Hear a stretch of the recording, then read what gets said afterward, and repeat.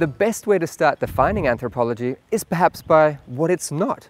We're not, unfortunately perhaps, Indiana Jones-like figures finding treasures in cowboy hats with whips attached.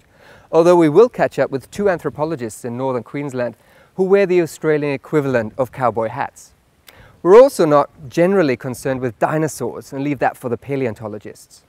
Nor do we study insects, that's for the entomologists.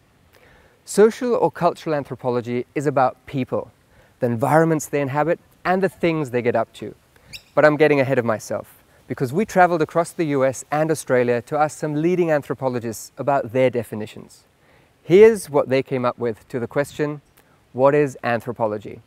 Anthropology is um, telling other people's stories so that we can um, understand human difference.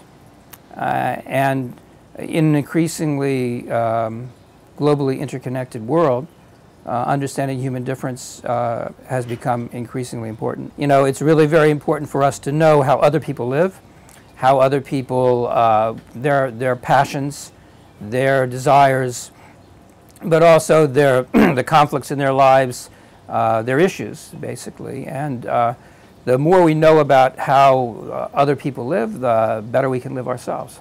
It's not about um, lab work, at least not the kind of anthropology that I do. It's not about um, quantification, numbers and formulas and things. It's about going out into the world and talking to people and meeting them as equals and getting to understand their lives and their worlds and um, through the perspective of people living those lives. And that, that was fascinating to me when I was 19 and it still is today. Oh, anthropology is the modern science of human behavioral variation. That's the short version. It's an exploration of the paradox of human plurality. The fact is that all human beings are, in some sense, the same. We're all members of the same species. We have millions of years of evolution that has made us what we are today. And the period of our cultural evolution is relatively small by contrast. So the period that, in which we have become different, culturally, ethnically, in appearance, is, is only a small part of our evolutionary history. But we are both, as it were, the same as all other human beings, and every individual is absolutely different, genetically and in, in character. And I think anthropology is, is, is possibly the most alluring and, uh, and edifying way of exploring plurality. So I think anthropology is, uh, on the one hand, a perspective. It, it's about um, valuing um, sort of local knowledge and uh, learning about the world based on how um, people understand the world and their place within it. So it's, it's a perspective based on meaning and, and everyday life. Um, it's also a method um, based on long-term participant observation. So living with a group of people for a long time and realizing that if what we're interested in uh, is meaning and culture and people's everyday lives, then we, act, we have to live that we have to sort of experience the world as, as other people do. A short definition of anthropology, the way you practice it, what would it be?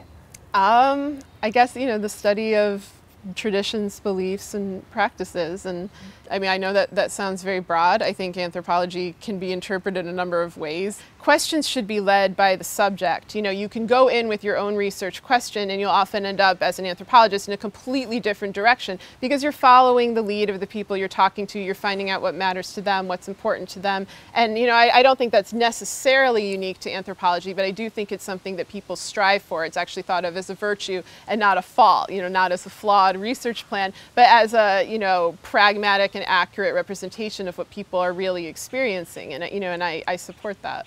When you're in the field, you just feel like you're overwhelmed with experiences, sights, sounds, sensations, feelings.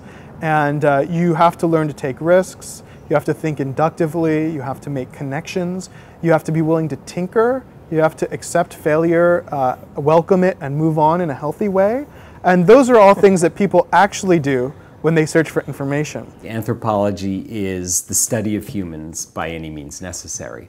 And specifically cultural anthropology that, that, that, that we do um, is, is very much influenced by bringing the methods of participant observation ethnography to understanding um, what's around us, whether it's where we live or somewhere far away.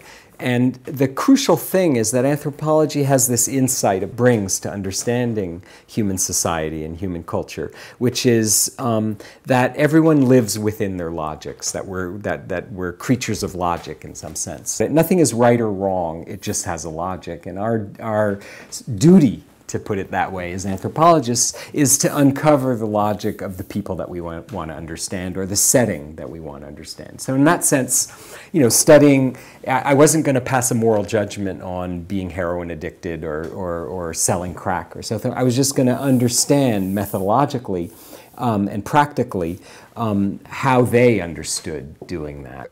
So, this question is about how would you describe anthropology in a nutshell? Okay. When like to say to you and to the students, it's not something that you just check off in a multiple choice test. Mm. If you're given a question in this MOOC or in some other test, what is anthropology, and you only have five choices, they're so all I, wrong. I can't do that now for the Well, you'll do what you want. That's not for me to say. But, but, but um, I don't want you to think it's this definite thing. And to be honest, I'm not always sure what anthropology is. I work in the Pacific. History and anthropology totally overlap. Um, it overlaps with sociology, overlaps with politics and economics. One of the key points of anthropology is I said that context shapes behavior. And so anthropologists, to understand what may seem exotic behaviors, understand the context in which people behave.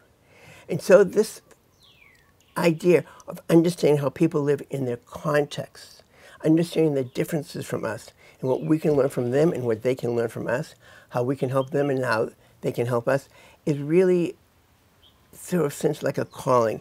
It's a passion that allows us to really enrich the lives of those around us as well as ourselves.